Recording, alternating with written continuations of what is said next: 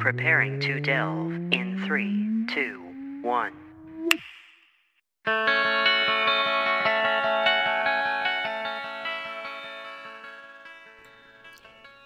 Hello, everybody, and welcome to Delve. My name is Nathan, And I'm Alex. and on this episode, you know what we're gonna do?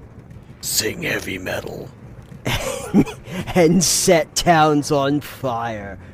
We're Burn them to the ground. burn. I just On want to this episode burn. of Delve, we're talking about the bad guys.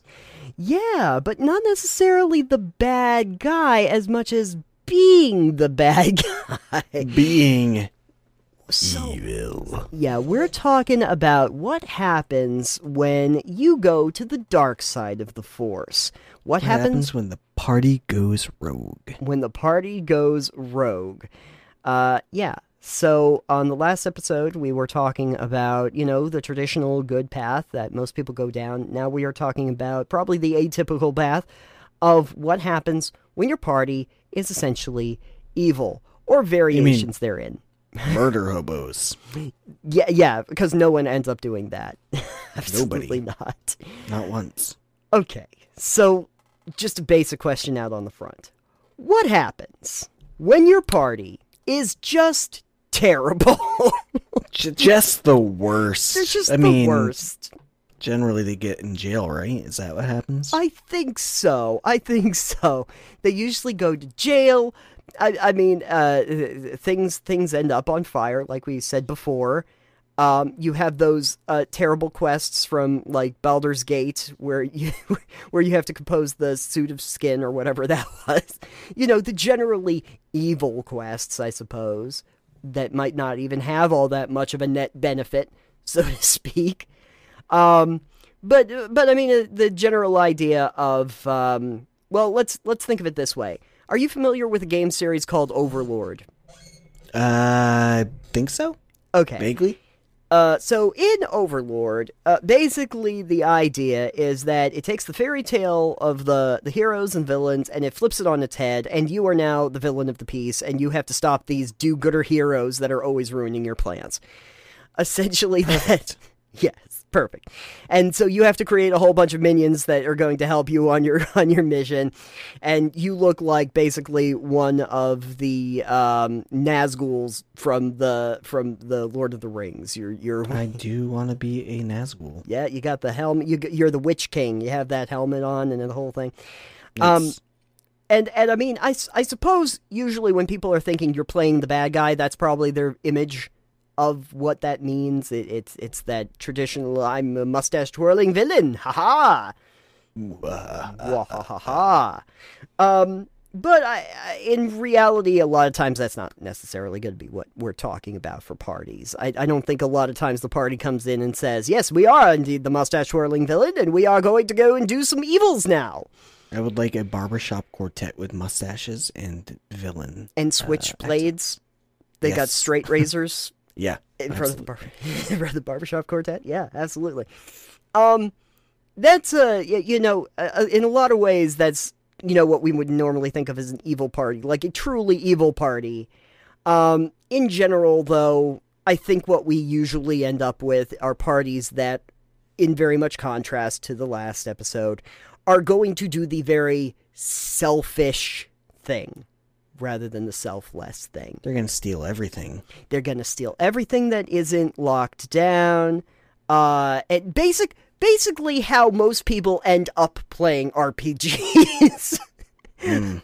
you know, it's your tip. It's your typical. Okay, yeah. Um, uh, you know, I go into an RPG. Yes, I want to do the good thing. Also, that's an open chest. Uh, that's a that's a drawer I can get into. Can I steal everything in that drawer? Yeah. Yeah. You left everything here out in the open. Yeah, sorry. It's, it's, it was always those things like I always feel bad for the shopkeepers that decided to show all of their wares on the table in front of me. It's like if you think I'm not gonna try picking up everything, Then they then you just put a bucket over their head and Call it good. They, uh, yeah, unfortunately can't do that anymore. Not in Skyrim, at least. Yeah, sorry. But like in New Vegas, there's that whole thing um, where you can go into like the Silver Rush, and they have all the energy weapons and everything laid out on the table and on the shelves and stuff, and it's like, yeah, boy, if I have a couple stealth boys, I'm taking everything you have there. I'm taking all the high power. You just left it on the table. You think I wasn't going to steal it all? Um, so so yeah, I think in a lot of ways when the party is going bad, what probably people are thinking about is the idea that yeah, you're probably stealing everything that isn't locked down and shaking down some people for money maybe. Um not necessarily the murder hobo stuff. I mean, that too. They don't maybe not. They maybe don't think about that, but I mean that is definitely not down the right path. Yeah, yeah. Probably not like just for the sake of it, though. I don't see a lot of people that are like, you know what I'd like to do in my game today? I'd like to go and murder a lot of people. There's that that usually isn't how the party interacts with the game world. Do you usually tell me that's how I interact with the party? you interact with the party, but see the party is not the is not the, you know, catalyst there. It's it's you telling them I really wouldn't do that and then they try it and and, and then I'm like, well, I you tried it. Now and- you will burn. You will burn Face- for eternity. face the consequences of Face- my evil. yes. Yes. Um but yeah, I was kind of interested in the idea. Like, if you look at a, an alignment chart in D and D, uh, there's there's all the good alignments, and then there's all the evil alignments. Because the idea is that you could essentially be on either side of this, and so there are specifically some characters that are evil. A lot of times, like warlocks will be. Necromancers obviously are specifically evil. I mean, my warlock was chaotic good. Yeah, but a lot of times the warlocks are evil, right? I mean, sometimes. Okay. Mine was also gonna cross class into paladin, so I mean, Oh yeah, I guess you would have to be fairly good. What what what are some other ones though? Like sorcerers, sorcerers. sorcerers aren't usually. They're pretty neutral. I think most classes are fairly neutral. Yeah, yeah. Um, I'm The ones to- that tend toward evil more often t- are, are the ones that are more aggressive. I want to say, not Like- necessarily even that. Barbarians are t- pretty neutral. I don't know. It, it, those all really depend. Uh, like, good is way easier to specify for classes. I think, sure. Uh, generally speaking, Yeah, than evil is for them because um, aside from like the warlock being seen as like evil, um, right, or necromancer, but necromancer's not technically a class itself.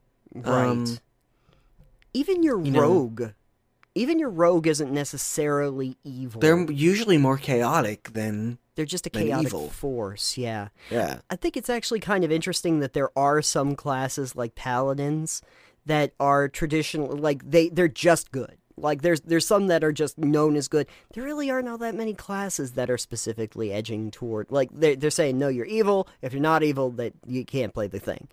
Like there's not a lot of that. Yeah. Uh, I mean, a at least in blackguard, for instance, uh, would be evil, Sure. or an anti-paladin would be evil. Right. Um, Right. Yeah. There's there's a lot that start out in in a good capacity. Usually the uh the the evil part comes later. like like when you're a fallen paladin or something like that. Yeah. Um but uh but yeah, I, I don't necessarily think and especially when from a GM perspective, uh usually you don't uh, tell your party that they're going to go down that path. Well, your goal today is uh, see that town, destroy that town. so, some warlord told you to destroy this town because they're trying to put up, you know, sheep stalls or something like that. They they have they have um, uh, real estate opportunities presenting to themselves that they'd like you to help them with. Uh, and so go and do that. That's not. T- I I don't know if I've ever played a scenario that was like that, or that anyone even asked me to. right. Um, so, so uh, and when we talk about people being terrible, it's usually uh, by accident. And this is this is actually where I wanted to go with this. Is the question what when does it happen by accident that your party just ends up being the bad guys? Okay. Accidentally bad guys. Yeah. Oops, we were the bad guys all this time. Well, Well, I mean, well, maybe we weren't the bad guys all this time, but uh, one of the better. we were the bad guys all along. We were the bad guys all. Are we the baddies? Yeah, we are the baddies. Uh, Mitchell and Webb, folks. There's a reference. Um, but um, one of the better examples that I have, at least from video gaming, is I don't know if you ever played uh, Spec Ops: The Line. Nope. No, okay. Uh, so I'm gonna give you a spoiler for that game, but you don't care because it's been out for ten years and you probably wouldn't want to play it.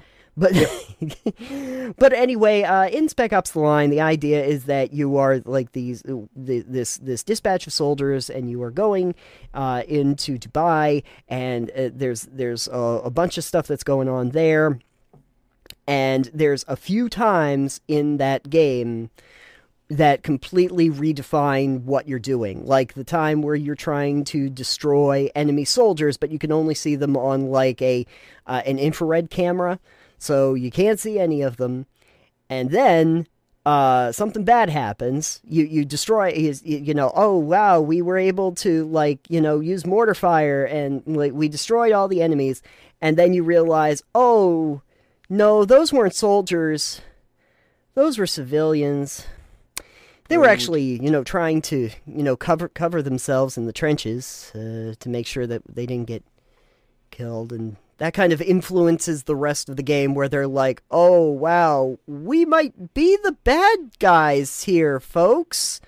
Yeah. and the rest of it is more of a Heart of Darkness story, in case you're not aware. but uh, it, it very much actually the same kind of Apocalypse Now form as as the movie. Um, brilliant story, and it has those turns at several points where you're like, "Oh, I was the problem the entire time." But they had no intention at that time of doing the wrong thing. Thought they were just fighting a war. They were not fighting just a war. Uh, in similar fashion, if we were looking at tabletop gaming, I can think of one or two times uh, a city got set on fire, but it was because we were trying to escape from a detention center. Now you might say, well, why were we being detained? Uh, Why were you being detained? we were being detained uh, for questioning in some uh, violent incidences that might have happened that got some people killed. That is, I maintain, was not necessarily our fault. Um, So it was accidental. it was it was accidental and we did we we did not do the thing. I to, i just told some guards that there were some bad people in a basement and they went down and if they got killed by the bad people in the basement because i might have underplayed how dangerous they were and if we might have been running with a guy who was part of a secret cabal and we needed to escape with him because he had valuable information that we needed. That's that's all tangential Sure. all doesn't doesn't mean that if we just ended up in a jail cell and they didn't want to let us go and they had already they had tortured our friend who was apparently part of the bad cabal thing anyway um you know if we need to blast out the back of that uh, station and everything is on fire uh so that we can cover our exit and escape town you know what what do you want from us what do you want from us really Reparations. we're never going back to the town again. Of course not. That's what all you can say. Um, but uh, in in seriousness, folks, uh, the whole being terrible or being the bad guy on accident, whether whether that ends up being a theme that you want to work with or not, does seem like something that happens more often than not in uh, in games. You want to be the good guy and you go down the good path, but along the way, some stuff happens. That's why there's whole combat systems in, in tabletop gaming. So that you have to resolve some things through conflict. Um, it's not Conflict and violence. conflict and violence. Now, uh, in in general, your experience, do you find that a lot of times people are going to try to use the nonviolent solution at the start, or are they just going straight to the murder hobo? Uh, in which situation? any situation. You're going on a mission, uh, and you're you're supposed to. Let's say you're supposed to rescue some prisoners from uh, from you know the uh, Bandit King.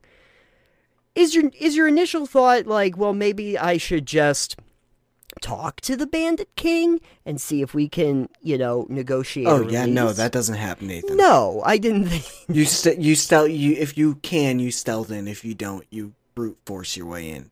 Right, right. Um, I I've never seen a party go. Maybe we should try this through diplomacy. It's like no, they're not gonna listen to us. They imprison the guy. this does feel like the other side of the coin, like we were talking about before. You know, you're you're doing the thing that's technically the good thing. You're supposed to be rescuing people from the Bandit King, but from the Bandit perspective, go back to that. It's like you didn't even try to negotiate. like you didn't even ask. You didn't send an envoy. You didn't do anything. We we we might have kidnapped somebody, but you didn't even know what our demands were. We didn't send a. We, you you don't know if we wanted a ransom anything like that. No, you just came in and started destroying our entire, uh, you know, our entire camp. Maybe the guy's imprisoned because he's uh you know domestic terrorist. Maybe the bandits captured somebody who was actually stealing their livestock, or Maybe he's an arsonist. Maybe your lord, whoever sent you on this rescue mission, wants him because he's terrible and wants him to do more atrocious things. or hey, you know what? On that notion, maybe this guy that you're supposed to be freeing, uh, it was actually there trying to seek asylum with the bandits because if the Lord gets a hold of him, he's going to torture him for eternity. Uh, maybe. Yeah. Um, a reference to a show you I'm sure you've never seen is Full Metal Alchemist, uh, No. Brotherhood, I believe. Um, Jay Kimblee is cr- insane, pyromaniac, like crazy. It's been a few years since I've seen the show, so if you've seen it and can correct me, feel free to.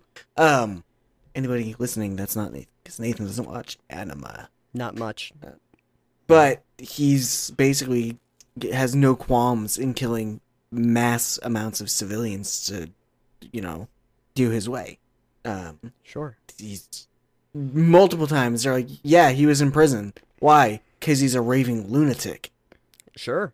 Yeah, and they're like, yeah, no, we want him because his methods are the way we want to do this. So that's that's uh one thing. In in in that instance, the uh, protagonist's morals do not align with this guy that's allegedly on the same side as them. Sure. Uh, but yeah, generally a lot.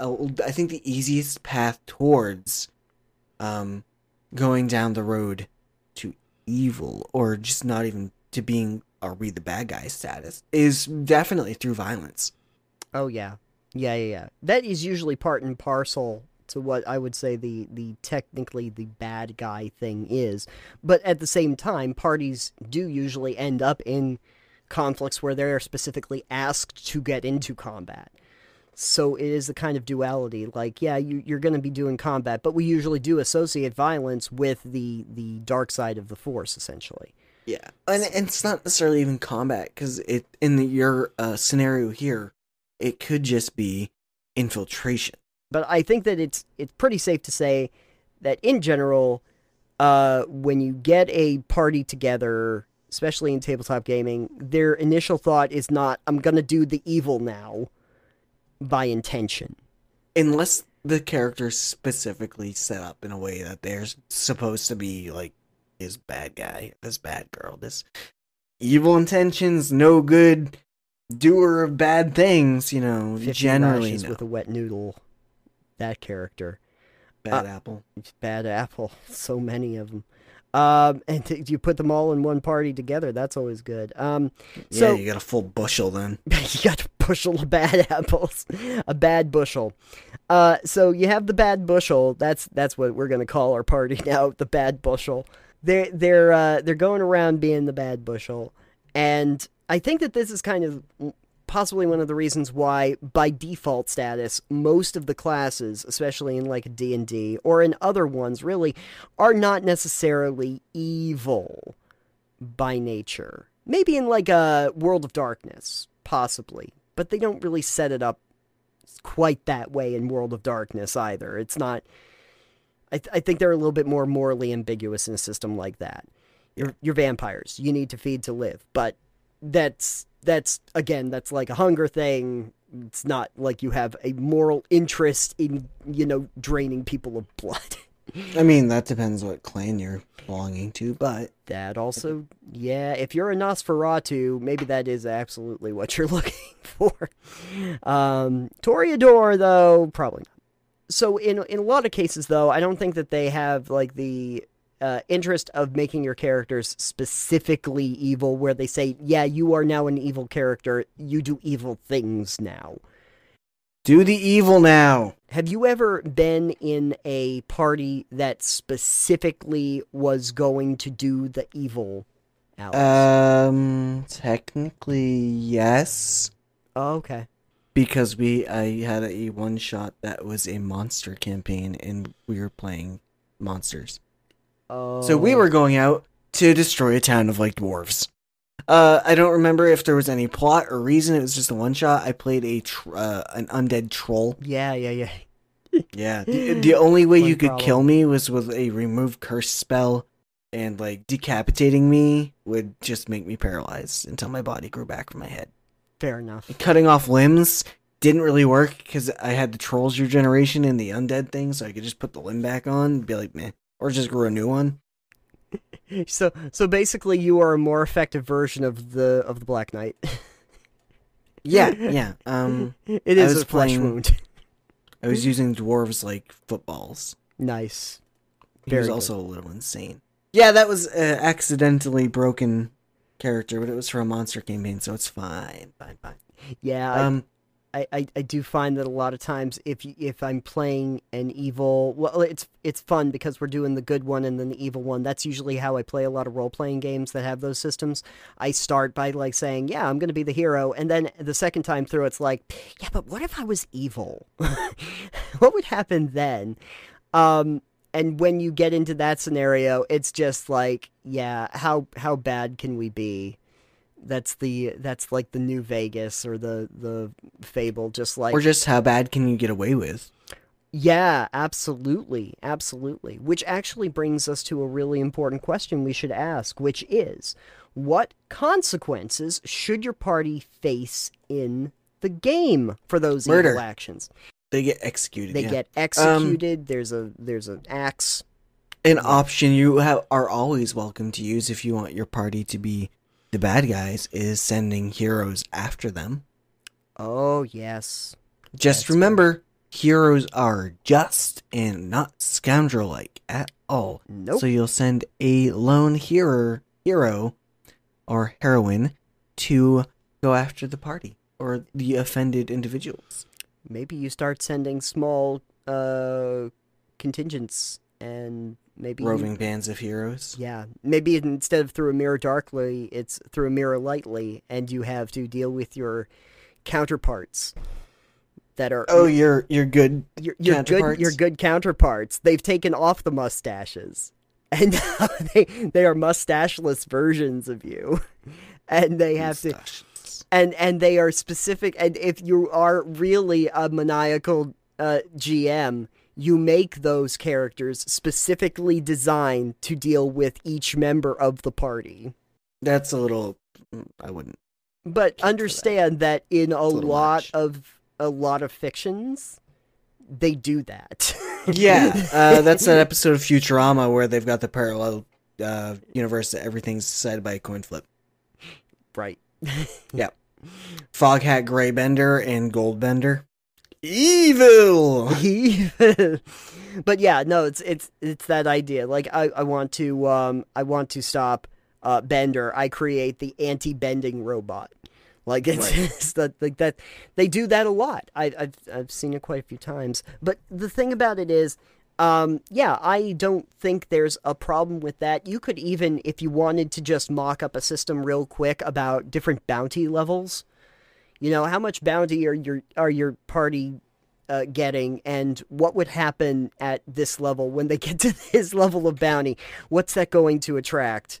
How many yeah, I think an easy way to do that would just be able to like establish what laws and what crimes are worth in your in your world. Oh yeah, Um, and I don't necessarily think a lot of games have that. No. as a thing. Like I don't know offhand. Like maybe you do for your own personal game at home, guys, uh, and ladies and friends. Uh, you, yeah, but uh, folks. folks at home. But maybe like 5e, I don't think there's like crimes. I don't think there's a section in the book on crimes. Not that I'm aware of. Um, but like, If so, it's not utilized very much. yeah, I've never heard anyone talk about "Oh, I committed a lot of crimes. Like in what jurisdiction? Oh, you know. yeah.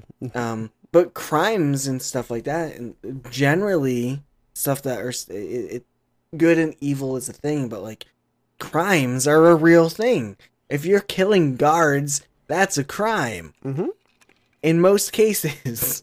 Mm. Mhm. So like, you should have like a wanted poster or like bounties or like they should be sending stuff after you. And I know some a lot of cases like they'll send like they'll put a bounty on your head and send like assassins after you sometimes like that. Uh, Sure. that's what happens in Skyrim, yeah. for instance.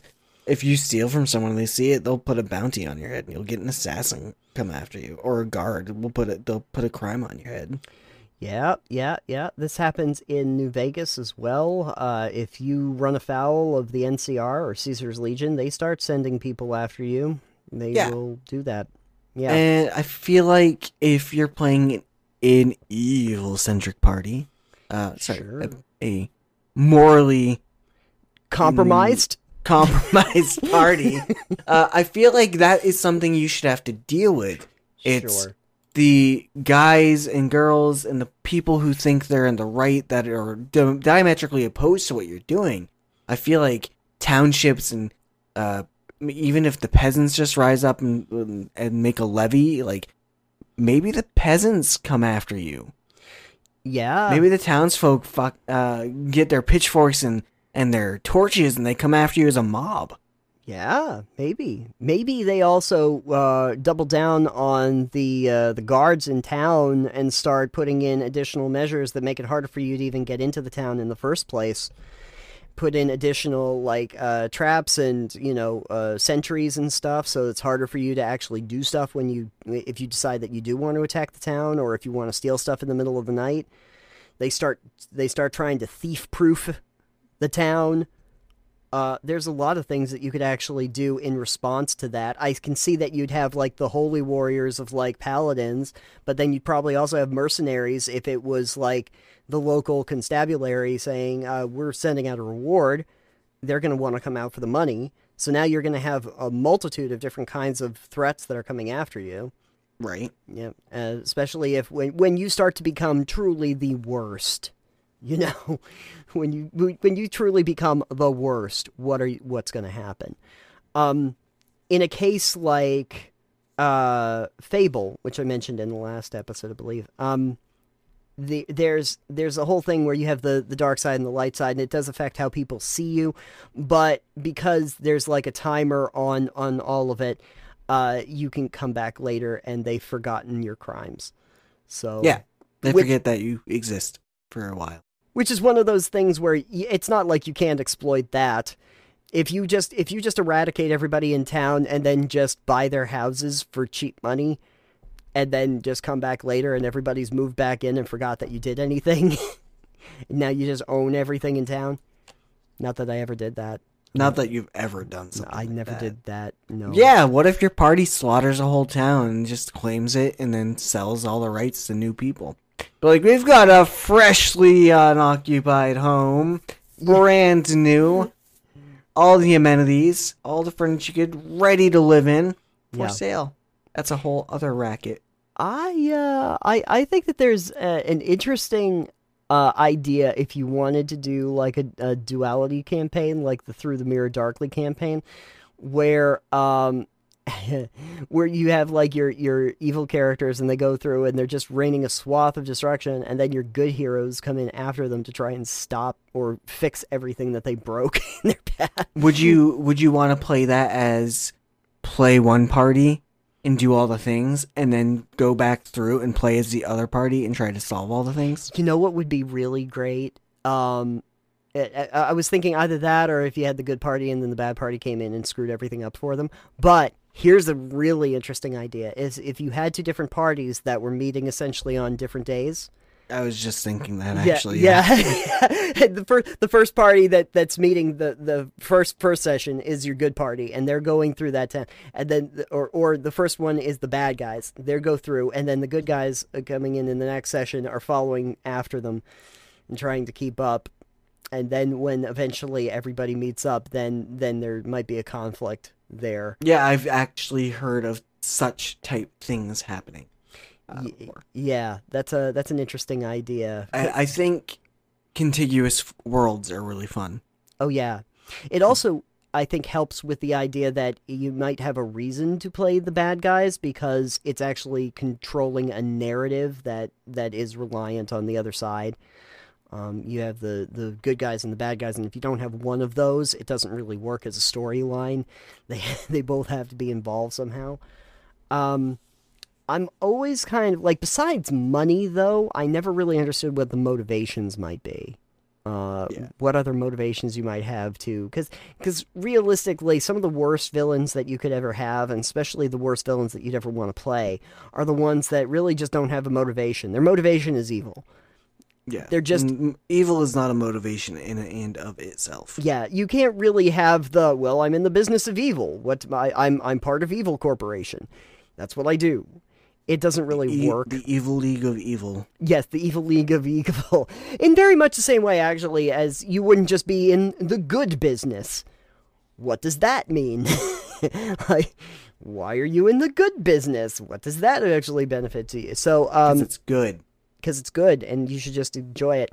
But the the business of evil is not a very interesting one. There has to be an actual re- like there's there's definitely like in in the real world even there's criminal organizations and stuff, but they do criminal organization stuff for reasons outside of being criminals. There's there's usually monetary gain involved or or uh, power or influence or anything like that going on behind the scenes. No one really just does evil because reasons. Like, there's always reasons for things. Um, and so I, I I think that that's an interesting thing to set up. If you were perhaps starting a game and you had characters that were morally compromised, as we're going to call, call them now, do you think session zero is basically establishing what the motivation for the characters are? Uh, I think it would have to be, or finding some way that they are like figuring out exactly what ways they're morally compromised. Maybe there's a dastardly deed that they commit on the first uh, session zero.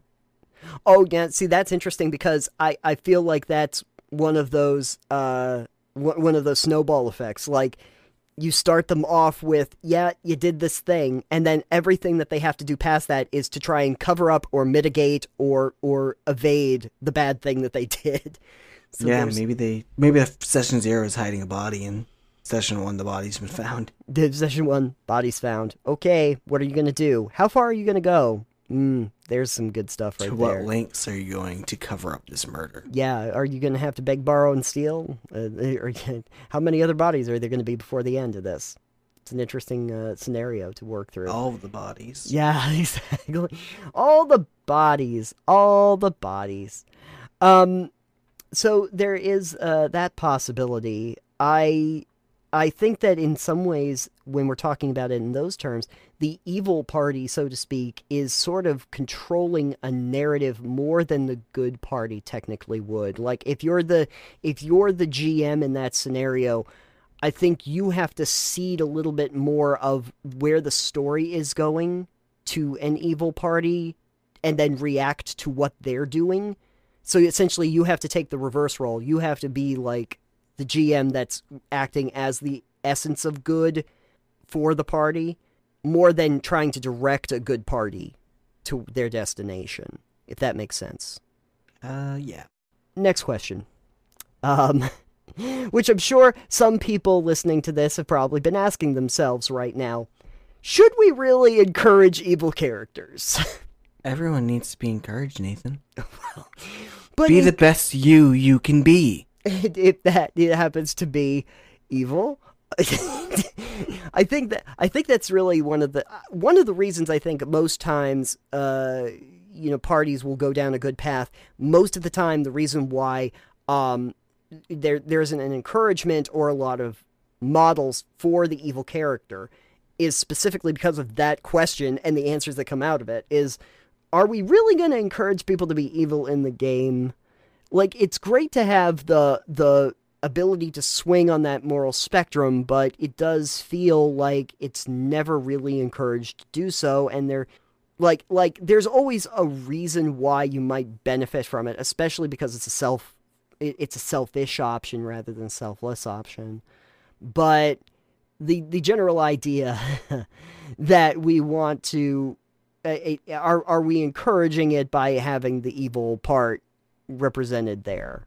I don't know. I again i don't feel like most characters are really that as much as there's a moral gray area that they end up inhabiting. Your thoughts on the matter do you think that we is are we encouraging evil characters even just by the notion of having evil on an alignment chart? I don't think that it encourages evil characters. You like you don't hear about evil characters nearly as often. Um, I think it is a good idea to allow players motivation or character motivations to sway their actions. However, mm. mm-hmm. so I think it's smart to create characters with compelling motivations, traits, flaws, and characteristics that, oh, I guess my lust for money and the fact that I will do anything for it means I might be a little evil. I don't think we should, I don't think it's the encouragement of characters to be bad. It's the encouragement sure. of characters to do things that are in their self interest, mm-hmm. not necessarily caring about what others they hurt or what they damage along the way. This is actually one of the, I, I think, issues that I had when it came to the alignment charts, which is that it, it felt like I was now going to be locked into a particular morality when I feel like that's always an evolution. To to be completely fair to the morality chart, and not really fair, to be completely honest to the morality chart in this instance, mm most of those are very mutable under different circumstances for a person or character. Sure. Sure. Um because it's going to be, "Oh, yeah, I'm lawful good." It's like, "Always?" And they're like, "Yeah, always." And you give them a situation and it's like that they would absolutely not be like lawful or good in. Yeah. And they're like, "Yeah, no, I do that." Since like that's not lawful or good. hmm That's that's neither. That's morally gray, right, and terrible. and then there's the other case that I uh, th- that happens a lot, uh, especially in video games. But I, I think you could also look at it in tabletop, which is it's not so much the I'm the good guy or I'm the bad guy, but you have some options that might get you to the same basic point. Uh, but how you deal with it tells a lot about the character. So yeah. So the example that I would give there, and one that is worth talking a little bit about is Mass Effect. I don't. I think you might have played one or two of those, but yeah, I played a little bit of one. A little bit of one. Um, but anyway, in that Shepard uh, can go down the path of the Paragon, which is the good path, or the Renegade, which is the bad path. Now, the overall goal is going to be the same regardless, but it does determine how you deal with each scenario and what was interesting is when they talked to the game developers, um, they were they were like they were actually kind of sad that like 70 80% of the people that played played through the paragon path when they had so many more interesting things they thought were going on in the renegade path yeah. but not many like i think it was only actually about 17% of people actually did the renegade pathway um, when they thought no, but that's where the interesting stuff was for them, at least. Yeah. Uh, it still gets you to essentially the same. That's actually the problem with Mass Effect Three is that it essentially gets you to the same point at the end, but but it does inform you a lot about your character and how they're willing to address situations. If I'm right. if I'm going to try and talk to this reporter, or if I'm going to punch the reporter in the face, because that's actually one of the choices you have to make at one of the junctures. Um, you know, uh, you're you're asking a pointed question. Well, I can be diplomatic about it, or I could just punch you. Uh, these are these are two options that Shepard get. Now, it, it, both of them complete the interaction. Right. but but it determines a lot about what's going to happen and inform the future of your uh of your interactions with them and other members of your party, other characters, and how the world sees you. Uh, it does move you past that scenario. So there's a lot of reasons why in a tabletop game you might take the like we were talking about earlier. You might take the option of being very violent, or you might take the option of trying to use diplomacy that might get you to the same endpoint, but it will affect how a lot of groups see you. Potentially, yeah, as long as you have cause and effect. And that's the thing is that um, we were mentioning it with the good with the good party, but in, in the evil party too, I feel like cause and effect is uh, usually glossed over a lot in most campaigns. Um, yeah, I would definitely feel uh as if especially a pre-written campaign, for instance, Mm, it's a lot harder if it's not written in there. Unless it's specifically written in there, I think, to have cause and effect in such situations where yeah. your actions cause reactions. Sure. Yeah. I uh that's something I would have always liked to see fleshed out in tabletop because that's one of the few round you can't do that in video games nearly as easily. In tabletop you can have much more dynamic ways I of think doing it's that. I think it's better done in video games though. Oh, it's done more often. It's And it's done well. it is done well. because again, the Skyrim example, I saw, caught this guy stealing from me, and now there's a bounty on his head. yeah. It's instantaneous Yep. in in video games. Yeah. If you kill someone and they find out about it, they'll send an assassin after you. Oh yeah. Yeah, because of X, Y happens. Yes, And that and I think it would be amazing to do this and find a good way to operate this in a tabletop. Espe- Um, especially because since it is so much Odyssey of the mind, there is a much richer and more complex way that that can be implemented in tabletop. The issue with that, whoever comes down to uh, essentially bookkeeping. Um, where yeah. you would have to log, in a sense, mm, every single encounter i- of a certain kind. So, like, oh, this player did this to this person, so this, you know, mhm. X did, uh, A did B to C, so D happens. Right. I um I don't know. I think it's more or less just keep some notes of notable stuff that happens for reference later.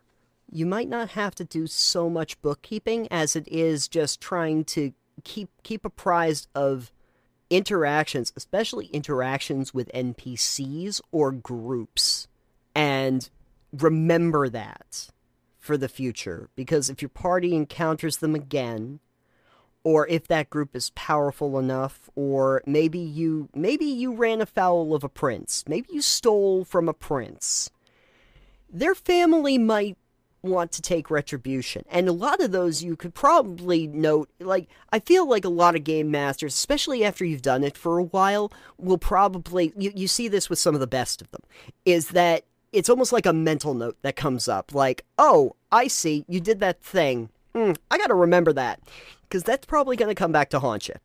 Like, like that. That even happened with my campaign once or twice, but no one ever got to see what came of it because we we didn't go that long.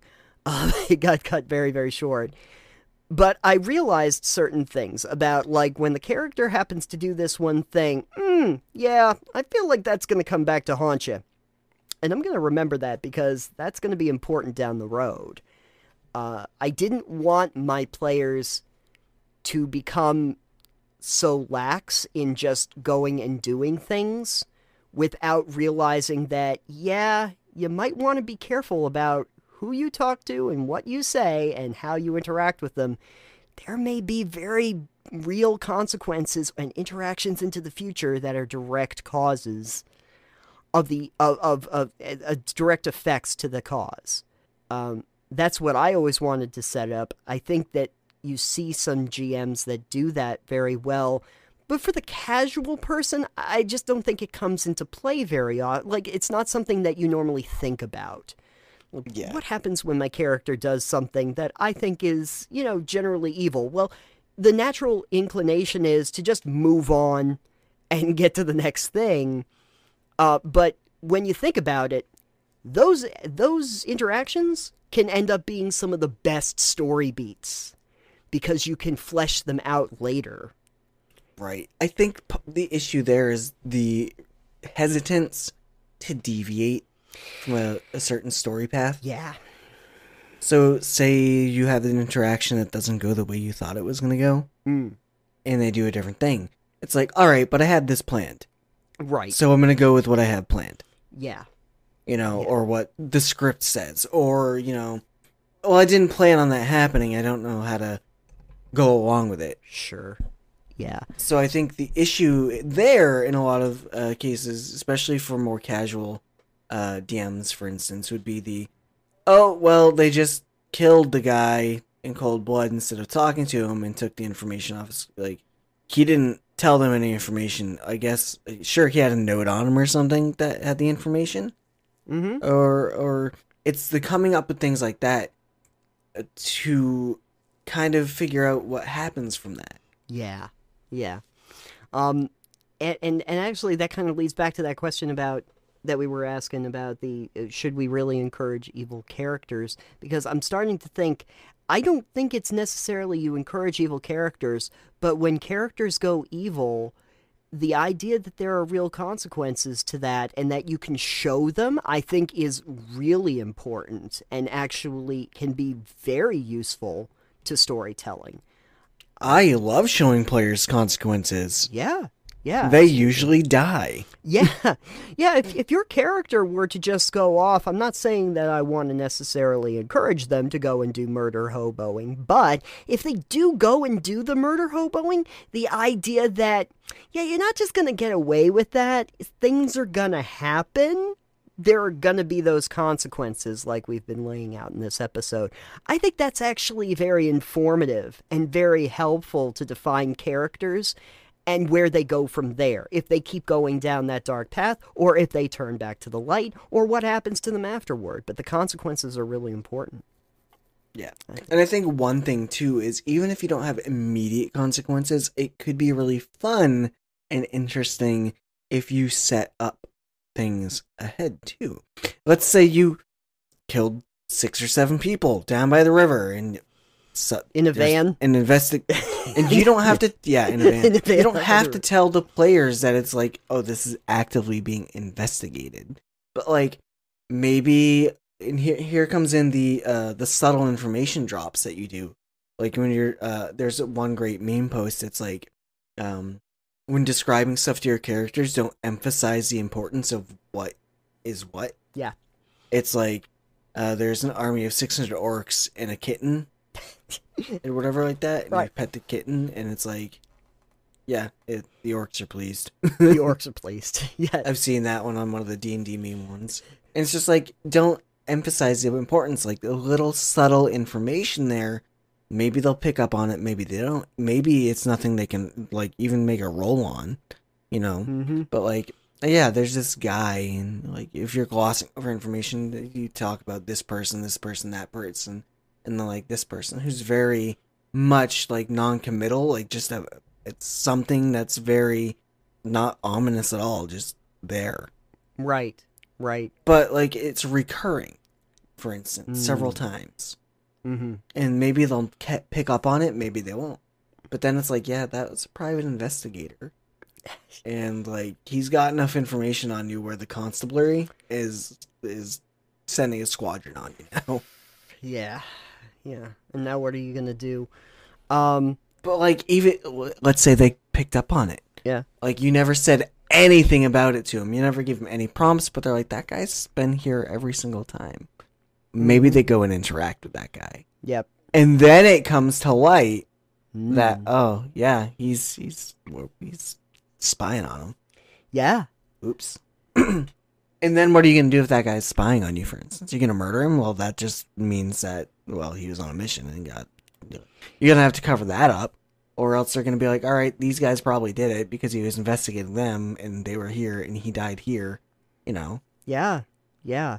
This is uh, this is very much the Breaking Bad story, essentially. Yeah, th- th- I have not seen Breaking Bad, so I don't know. I have no Okay. idea. But uh, this is less on uh, maybe characters that are bad, but are ways to interact with characters who want to be bad. I think at this point in the episode. Yeah, yeah, yeah. That's probably a good way to phrase that. Um, what happens when the characters are are curious about being bad guys? what happens when your hero thinks, "Hey, why am I being the good valiant hero when there's more money or uh, or power to be had from being the bad guy?" What do I do? And that's the other thing too. Is usually in the act of not necessarily being good, being morally compromised, as we put it, um, being bad. It's more about the power um, Mhm. and self-interest, and you're taking things that you want and doing things for your own or your own group's interest. Yeah, So Yeah. it's like you gain power, right. and people might learn to fear you, yeah, and then they're like, "Oh well, we need to deal with this guy. He's gaining lots of power, and he's kind of scaring the populace or whatever." So like, there's lots of different ways you can deal with characters that go down that road. But a character that is going down that road, maybe their goal is power and different ways to accumulate power. So, for instance, a way you could accumulate power is offing the local lord and taking his mantle. We've deposed your lord. Bow to me and pay us taxes. Right, right. There's a there's a lot of reasons why, like, if you introduce a very powerful object, that's also a thing. You could introduce a very powerful object into a game, and say, "Hey, this powerful object could be yours, but if you take it, um, this is also a power source for uh, an entire town." And they're going to be in blackout territory once you do that. Actually, there's a similar mission in um, uh, if you remember in New Vegas, the uh, the Lucky Old Sun quest when you go to Helios One. Um, you go there, you can reset those uh, panels, the solar panels, to divert um, you know power to the Strip or to the West Side or you know all over Vegas, wherever you want to take it, or you can power up the super laser so that when you get the C-Finder, Euclid C-Finder, you can send down a beam of light to destroy anything it hits. Now, now there's a there's a thing where you're going to provide power to a lot of people, but on the other hand, I can have a devastating weapon that I can use once a day. You may want to pick that option because it's going to benefit you, but you've also set up the thing where if you take that option, it doesn't just benefit you, it negatively affects everyone else. Now, what do you want to do?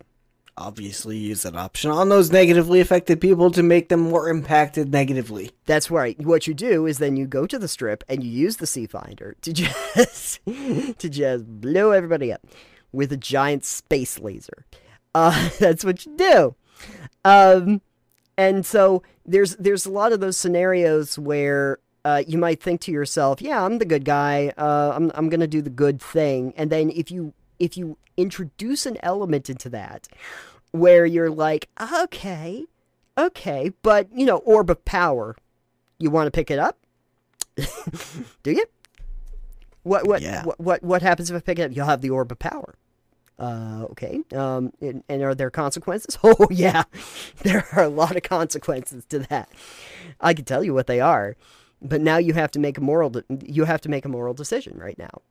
Am I going to choose power, or am I going to do what I think is right for the whole? Am I going to do what's right for me, or what's right for everybody else?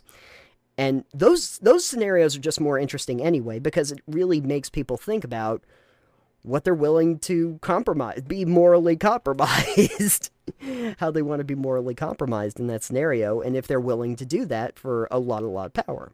Yeah, I think that there's there's some interesting, but again, go back to those consequences.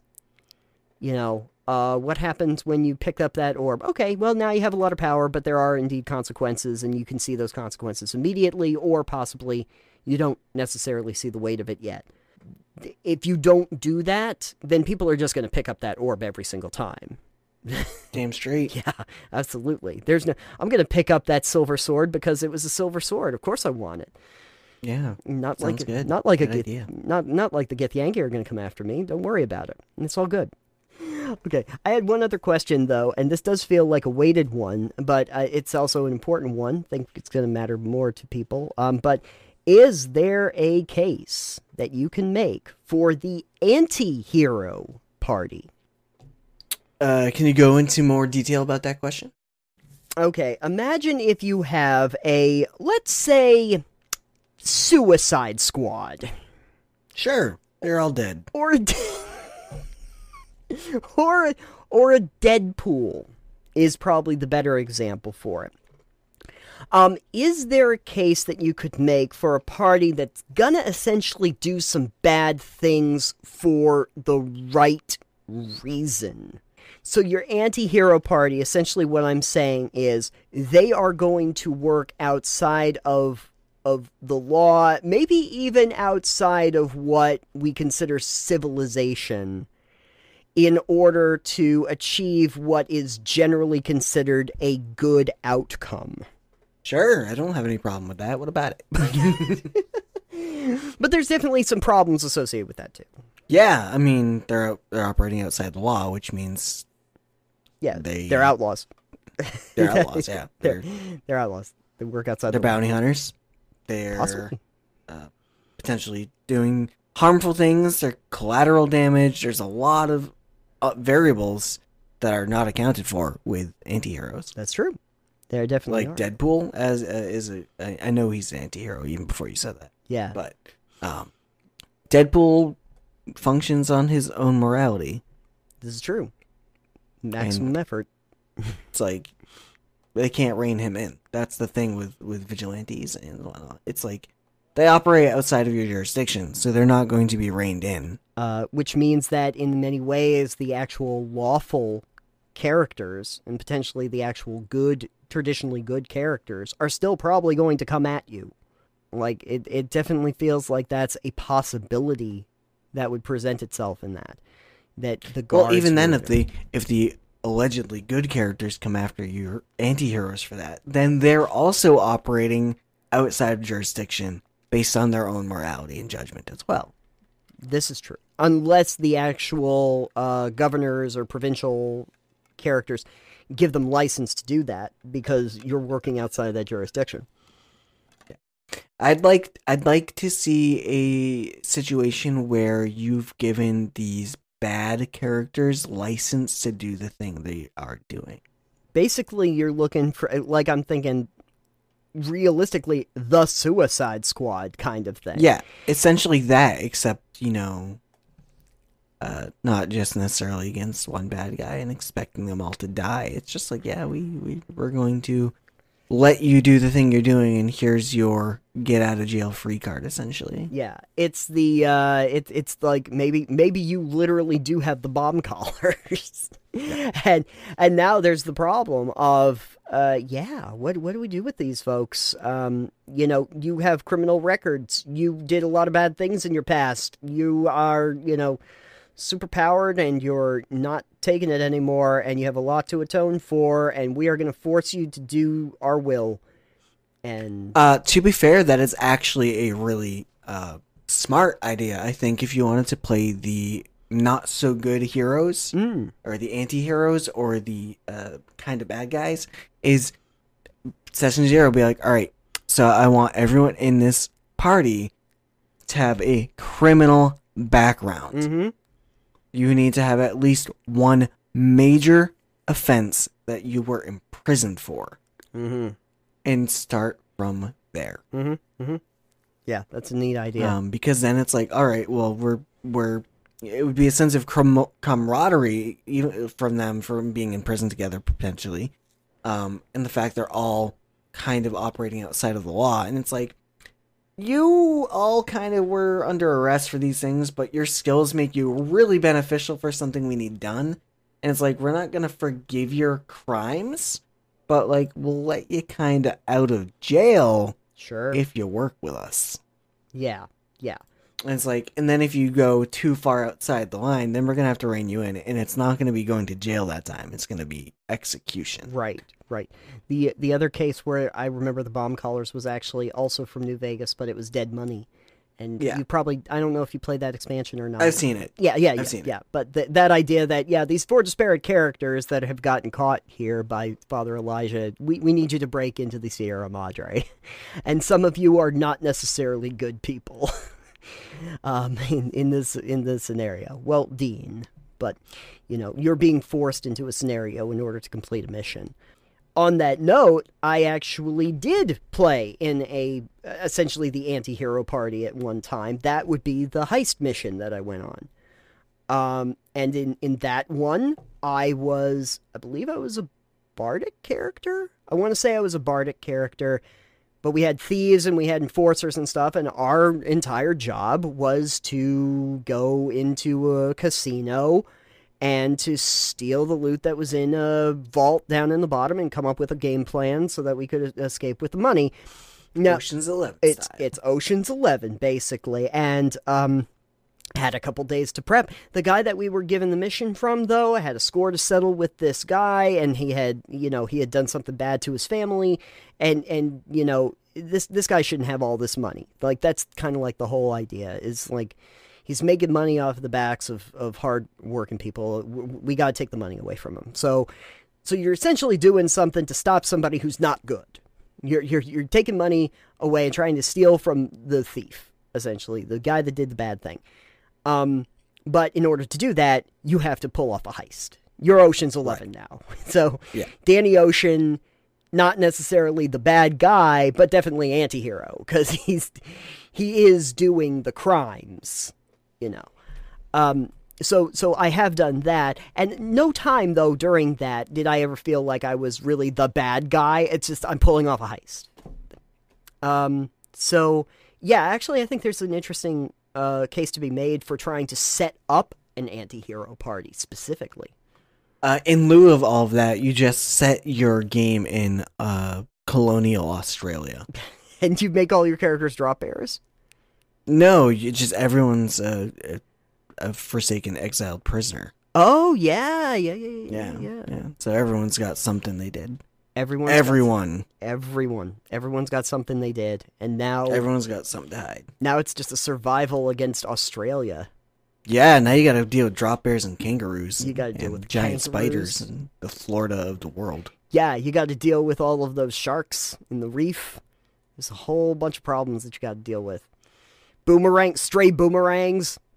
There's a whole lot of problems that you have to deal with. That's a survival game, Yeah, that is a a horror survival modern- game. Yeah, You know what's interesting is that there's a lot of a lot of genres of like video games that you don't necessarily have the ability to do in tabletop form, but one that I don't usually see very often is the idea of horror survival. I feel like you could actually do that as an RPG. there's there's several of those. They're not really exciting. Yeah, I mean, I mean I'm, I've seen horror games, like you know, I, I obviously like cosmic horror, like a Cthulhu, but I'm like actual like survive, like you'd have to have like hunger meter meters and stuff like that, and it's Yeah, that's um. annoying. There, there's a lot of those actually. Oh, there are. Not in tabletop, but Oh yeah, like board games. no video games. There's a bunch of those. Oh no, there's a ton in video game. What I mean is that they I, I haven't really seen it in tabletop version. Oh, okay, okay. Yeah, um horror in general, like actual horror Yeah. uh is a bit lacking. It's a lot harder to pull off that suspense and uh whatnot. It can be, but the uh, but the survival aspect too. I feel like there's there is definitely a uh, way you could do survival in tabletop as like just a, a mechanism. Like it's not you being the the big bad guy or good guy like we're talking about right here, but just trying to survive the game world that has been presented to you and not die. Yeah. That seems like a, an interesting plot point. Oh, and that's actually a perfect scenario for the whole you did a bad crime and now people are trying to come after you. The whole the whole thing like, well, now I'm just trying to fight for my life. I guess the the just general question I'll ask toward the end here is uh do, do you do you really want to play an evil character? I thought you were gonna ask if I wanted to build a snowman. Okay, do you want to build a snowman? I want to build an evil snowman. Okay. Now, uh, for the other question, do you really want to play an evil character? Sure. Okay. If they're interesting and compelling and they're not just boring. I myself actually do have ideas for evil characters that I would play, but I think they're more comically evil. Like they're like they're they're not necessarily doing evil things, but they're evil by their like they're they're inherent evil, but they don't necessarily do those those sort of things. I'd like to see tragically evil characters. Mm-hmm. Mm-hmm. Mm. I I had an idea for like a minotaur that had been trapped in like a labyrinth for most of his life and then when the hero came through the through the main door he saw an opportunity to you know kill the hero and get out of the thing. And then realized that like since things have changed so much around him i mean he's a minotaur he's going to be kind of evil but there's a there's a real future in monster hunting. So now he's just a monster hunter and and yeah, I mean he he doesn't really fit in very well to society because like he wants to drink from skulls and stuff, but he's just trying to make it in the world now. I just, Yeah. I just I think that those or, or like necromancers that really overestimate their ability and think they're a lot stronger than they actually are like with with with ideas of like grandeur that they don't necessarily have the ability to pull off. I just think that those characters where they're almost like a comic villain are also fun. They're just, Yeah, they definitely can. but in terms of the just I am an evil like like I'm just a serial killer now. No, I don't really I don't see that as being something I'd want to play. I don't want to be Hannibal Lecter. Like that's not a character that I'd prefer to play in a in a tabletop game. I, I just can't find enough fava beans. Or a nice Chianti. You usually find pretty cheap Chiantis, actually. Oh well, never mind that. I said a nice one. so E- whatever. exactly, exactly. There's uh, most most Chiantis I find usually at places where I frequent uh, are usually pretty cheap and probably watered down. So yeah, you got to find a nice one Exactly. in, in one of those basket holders. Uh, but anyway, um, okay. So that's uh, what I guess we have to say about evil characters uh, or evil parties and what happens when our good party and our evil party do the dawn of justice thing. um, and and they, they stare at each other menacingly across the table. Um, but in case you were interested in anything else that might be uh, morally compromised in gaming, Alex, where could they find more content on the internet? Well, morally compromised content. There's a couple websites I can't tell you here, Delve Triple Um, X. but you can find stuff from us over at Delve. Uh, wow, over at delvecast.com. Del- Delvecast Triple X. Uh, no, sorry, that's our OnlyFans account. You can find all of the stuff we do over there, and you can just click on our Patreon and uh, check out some of the special uh, early release stuff and special bonuses that we have over there. Again, thank you. The entire episode we just recorded. the entire episode that we just recorded with all of the gaffs and goofs that normally go along with it. Oh no. Uh, thank you to our shiny level patron Bonnie Ainsworth and also to our Discord shiny patron Drunk Paul. Uh, they help keep the digital lights on. And uh, if you are on any kind of social media, you can find us there. Uh, I am at Psitanium. I am at EXP Limited, and the show is at Delve Podcast. And we had uh, mentioned it on the last episode, but I think it's worth reiterating here if you are just like listening to them back and forth, uh, back to back, I should say. Uh, is we are still looking for some information on what your favorite villains are and why. Uh, Yes. we we have some ideas of our own, and we'll probably end up doing an episode about it in the near future. Um, but uh, we're we're interested in that. Probably more pertinent for this episode than it was even in the last one. So uh, worth worth talking about. We're not going to tell you what ours are yet. Nope, not yet. We're going to do that later. Uh, until then, though, thank you for listening. We will see you on the next episode. Goodbye, everyone. Bye.